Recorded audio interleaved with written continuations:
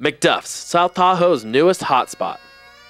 1041 Fremont Ave, right across from Nell's Hardware, where the lake is closest to the road. We have 80 seats outside. You can see the lake from the front yard.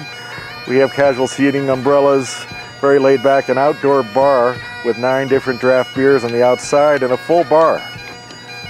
Ah, one of our first drinks on our drink list is the Bob the Dog, named after one of our pets and one of our partners. Bob the Dog, it's a little Ketel One vodka, Campari, fresh grapefruit juice, and a lime. It's very simple, it's wonderful, very refreshing. Uh, the shepherd's pie, we grind the lamb for the shepherd's pie daily. We do, we grind all of the beef for the hamburgers, we hand cut french fries, do homemade onion rings, try to make everything from scratch. We're open from 11.30 in the morning till 2 in the morning.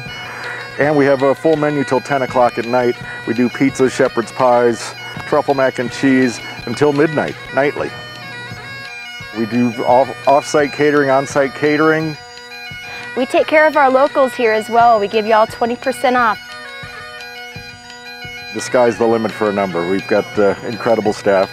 Our phone number is 530-542-8777 and then the website is macduffspub.com. MacDuff's is where we hang out in South Lake Tahoe. MacDuff's! Please come in for food and or drinks, both. A lot of the locals hang here daily.